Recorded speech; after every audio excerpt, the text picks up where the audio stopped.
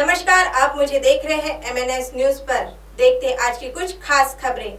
स्वरा भास्कर ने ट्वीट कर कहा, अगर एक दलित कहता है कि उसे अपनी लीचिंग का डर है तो उसकी बात सुनो। अभिनेत्री स्वरा भास्कर ने कहा है कि अगर कोई अल्पसंख्यक समुदाय कहता है कि समाज में असहिष्णुता है तो उसकी बात सुनी जानी चाहिए। अगर एक दलित कहता है कि मुझे डर है कि मेरी लीचिंग हो जाएगी तो उसे सुनो, क्योंकि यह आपके साथ नहीं हुआ तो ज़रूरी नहीं कि ऐसा किसी के भी साथ ना हो।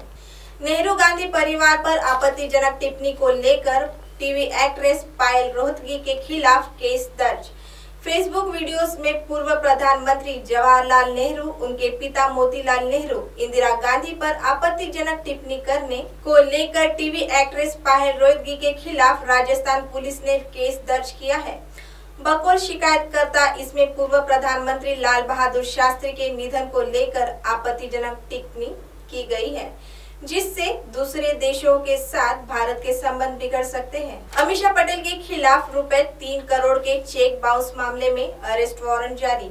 बिग बॉस तेरह के घर की मालकिन अमीषा पटेल के खिलाफ चेक बाउंस मामले में रांची झारखंड की अदालत ने अरेस्ट वारंट जारी किया है। प्रोड्यूसर अजय कुमार ने बताया कि उन्होंने एक फ़िल्म बनाने के लिए अमीषा पटेल को दो दशमलव पाँच करोड़ रुपए दिए थे, लेकिन उसके ठंडे बस्ते में जाने पर एक्ट्रेस द्वारा दिया गया रुपए तीन करोड़ का चेक बाउंस हो गया। ट्रेन की चेन खींचने के 22 साल पुराने मामले में करिश्मा कपूर और सनी देओल बरी। जयपुर में एक कोर्ट ने की चेन खींचने के 22 साल पुराने मामले में करिश्मा कपूर और सनी देओल को बरी कर दिया है। दरअसल रेलवे कोर्ट द्वारा मामले में आरोपी तय करने के बाद उन्होंने समीक्षा याचिका दायर की थी। आरोप है की फ़िल्म बजरंग की शूटिंग के दौरान चेन पुलिंग ऐसी ट्रेन पच्चीस मिनट लेट हुई थी। अब आप हमारे चैनल को ऐप पर भी देख सकते हैं। प्ले स्टोर में जाकर एम हिंदी लिखे और ऐप डाउनलोड करें। साथ ही साथ आप हमारे फेसबुक पेज को भी लाइक कर सकते हैं और उस पर भी खबरें देख सकते हैं।